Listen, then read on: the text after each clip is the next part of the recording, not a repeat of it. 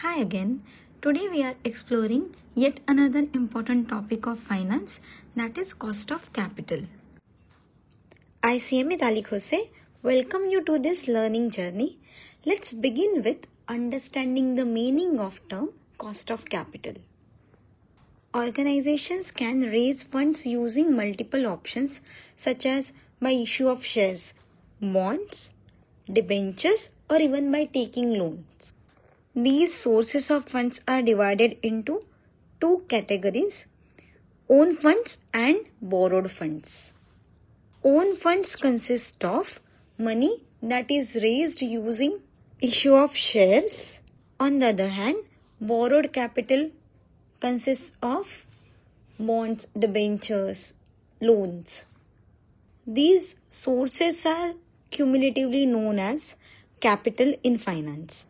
Cost of capital is minimum return on investment that any organization needs to earn in order to repay its finances.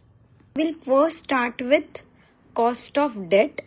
We'll try to understand how cost of debt is calculated. For most of the organizations, possible debt scenarios are bonds, debentures or loans. Debt can be either redeemable or irredeemable in nature in redeemable debt, the principal amount is repaid at the time of maturity along with interest. However, in case of irredeemable debt, only interest will be paid every year. There won't be any repayment of principal amount. Let's first try to understand the cost of irredeemable debt. As we just discussed, in case of irredeemable debt, only interest will be paid in almost all the cases interest comes with tax benefit. When organization will be paying interest on its debt it will be first reduced from earnings before interest and taxes. After that tax is calculated. Hence whenever there will be payment of interest organization will get tax benefit. While calculating cost of irredeemable debt we will only consider interest component as there is no repayment of principal amount. On this interest also we will get tax shield. While calculating cost of debt, we compare outflow with inflow. So whatever outflow we are going to incur due to opting for debt component that will come in numerator. As we are going to get tax shield on it, we will reduce that much amount from interest. We will compare this amount by dividing it by net proceeds that we have got from this particular debt venture. While issuing this debt, if there are any costs which are associated with this particular issue, then that much amount will be reduced from net proceeds along with any discount amount. Let's look at an illustration. I am pausing for a moment so you can read the question.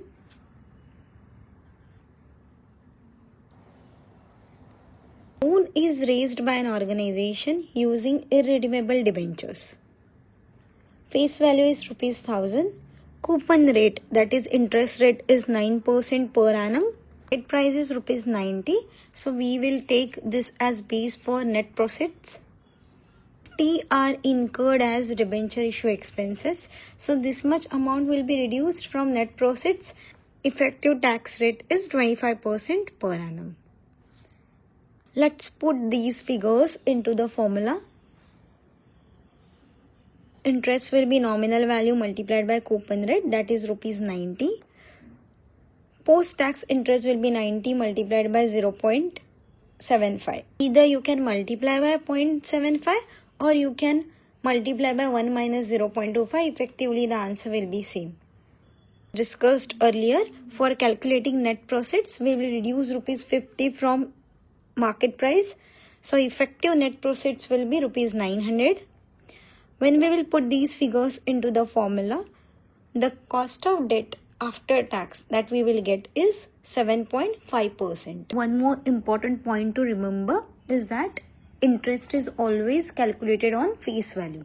Hence while calculating interest, we have taken rupees 1000 as base.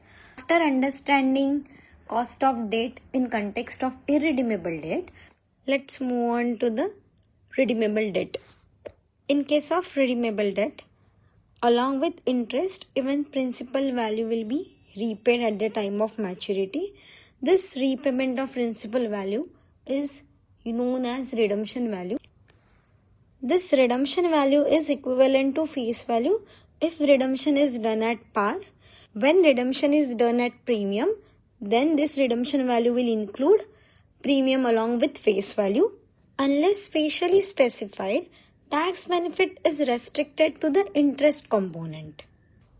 As repayment will be done after the maturity, whatever difference is there between redemption value and net proceeds, that will be apportioned over the life of debentures or bonds.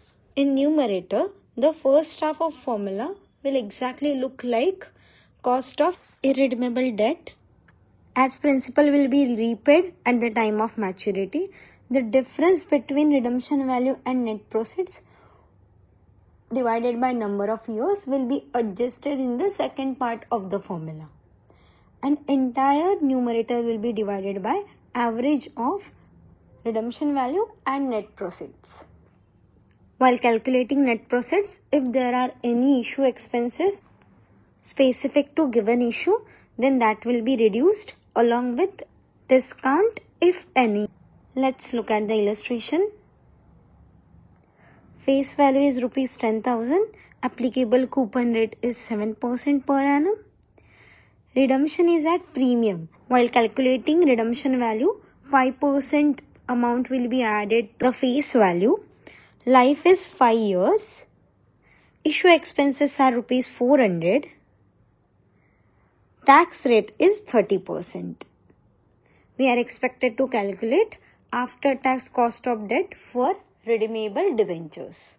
When we substitute these figures into formula, after tax interest that we will get is rupees 490 average of redemption value and net proceeds will be rupees 10050 and the premium that will be apportioned over a life of 5 years will be rupees 180 while calculating redemption value we will also add premium component. So face value is rupees 10000 on that premium is payable at 5% so 500 will be added and eventually redemption value will be rupees 10500 as we substitute these figures into final formula the effective kd after tax will be approximately 6.67% per annum i hope concept of cost of debt is clear by now until next time Keep learning. Thank you.